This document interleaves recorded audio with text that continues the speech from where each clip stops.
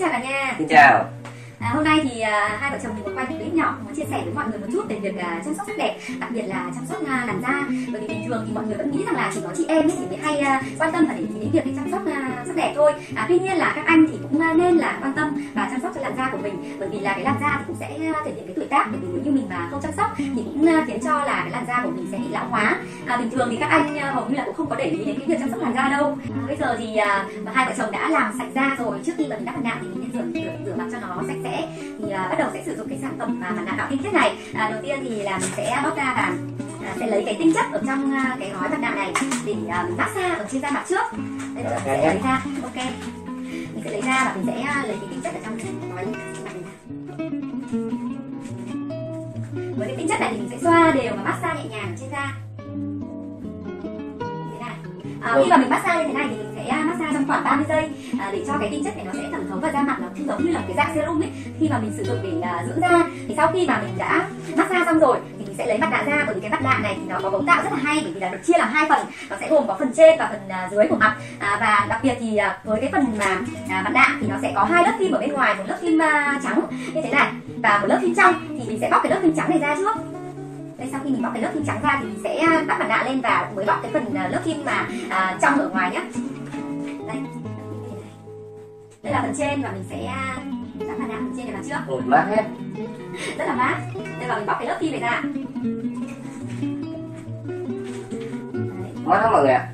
Tiếp theo thì mình sẽ đắp tiếp cái phần à, mặt nạ ở dưới. Thì mình cũng sẽ bóc cái lớp phim trắng này ra trước.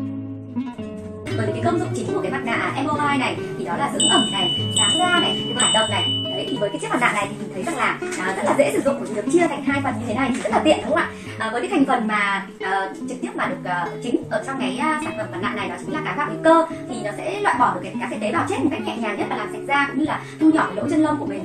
Thì à, với cái cám gạo thì mọi người cũng biết rằng là nó có cái à, à, thành phần là giúp cho làm sáng da và cái làn da của mình mà à, không đều màu thì nó sẽ cũng cải thiện cho cái làn da của mình trở nên đều màu hơn và giữ ẩm cho da cũng như là giúp da được mịn màng hơn nữa. À, vì thế là thì ngoài cái phần thành phần chính là cá gạo hữu cơ như thế thì trong cái chiếc mặt nạ gạo tinh khiết là MOI này thì à, nó có rất là nhiều những cái thành phần khác để tốt cho cái làn da của mình. Ví dụ như là triple HA thì với như mọi người đã biết là cái HA ấy thì nó cũng à, làm cái à, à chất để là tự nhiên thì có trong cái cơ thể của mỗi một con người rồi thì nó sẽ được tái tạo lại mỗi ngày. Vì thế là khi mà một uh, qua một cái tuổi của mình đi thì nó sẽ làm cho cái uh, làn da của mình nó cũng thay đổi. Uh, vì thế là mình cũng lý do đó là mình cần phải bổ sung thêm cái HA để chăm sóc cho cái da của mình đó ạ. Uh, tiếp theo thì mình cũng muốn chia sẻ cái thành phần ở trong cái cám cái, cái, cái mặt nạ gạo tinh khiết này. Đó chính là cái tinh chất từ uh, lá bồ công anh bởi vì cái tinh chất này thì nó rất là tốt vì nó hoàn toàn là thiên nhiên. Uh, và tiếp theo nữa thì mình cũng muốn chia sẻ nó là tinh chất từ lá oli uh, olive bởi vì là cái tinh chất này nó giúp cho làm à, chậm quá trình lão hóa này rồi à, tăng cường à, lưu thông máu và giúp cho cái làn da của mình được hồng hào hơn à, rồi chiết xuất từ rễ cam thảo nữa. Thì với cái chiết xuất này thì cũng làm cho các mờ mờ những cái vùng da bị nám đặc biệt là ở chị em thì hay bị nám ở những phần má như mình này thì nó sẽ làm mờ dần đi theo thời gian khi mà mình sử dụng. Và nó còn làm à, nó rất là tốt làm dịu những cái làn da mà nhạy cảm hoặc là bị kích thích nữa. Thì về cái chất liệu của mặt nạ này thì nó được kết à, cấu là cái dạng gel. Đấy rất là mềm và nó ôm khít vừa vào cái khuôn mặt à, giúp như là một cái làn da thứ hai ấy, để chăm sóc cho cái da của mình nữa. Thì à, mình sẽ có thể là mọi người sẽ thấy chỉ cần một lượng à, tưởng tượng như là một, một cái lọ serum ấy mà mình đổ lên trên mặt xong rồi mình à, massage nhẹ nhàng nhẹ nhàng này thì nó sẽ thẩm thấu vào trong da của mình thì rất là à, dễ chịu và và giúp cho cái làn da của mình được à, chăm sóc à, cẩn thận và được à, mềm mại hơn rất là nhiều đúng không ạ? Thì với cái mặt nạ như thế này thì mình cũng muốn à, để cho mọi người có thể thấy rằng là sau khi mình sử dụng thì nó sẽ như thế nào nhá. Bây giờ mình sẽ bóc ra. Và anh cũng bóc ra. Luôn nhé rồi mình sẽ bóc từ dưới ra bóc cảm thấy là da rất là mềm mịn đúng không? Anh cảm thấy như thế nào mát lắm là rất là mát và cái da của mình nó cũng Sao cảm thấy dễ chịu và êm hơn ví dụ như da của mình như thế này.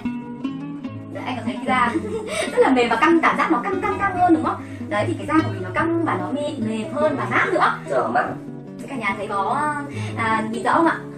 Rất là thích. Bởi vì là khi mà mình sử dụng xong thì cái da của mình nó được như là được uh, tái tạo lại và làm mới cái làn da của mình hơn. Nó mềm mại hơn và nó rất là dễ chịu nữa À, như vậy là với một à, gói mặt nạ à, gạo tinh khiết như thế này thì mọi người có thể sử dụng được để chăm sóc làn da cho mình. Và được mệnh danh là một mặt nạ quốc dân. À, bởi vì là những chất liệu là từ gạo mà mọi người cũng biết rằng là trước đây thì từ các bà các mẹ đều uh, sử dụng nước gạo để chăm sóc da của mình rất là tốt đúng không ạ? Thì với cái một cái sản phẩm mà à, mặt nạ MOI như này giúp sáng da để dưỡng ẩm và thải độc thì uh, hầu như là rất nhiều người chị em đã quan tâm rồi. À, nếu như là mọi người mà muốn tham khảo cũng như là quan tâm về sản phẩm này thì có thể tìm hiểu cũng như là xem trên cái đường link mà mình đã gửi kèm ở trên cái clip này của mình nhé à, giúp mọi người sẽ chăm sóc làn da của mình được tốt hơn và giúp cho cả ông xã cũng có một làn da được uh, trẻ trung hơn và không bị lão hóa theo thời gian nữa nhé xin chào!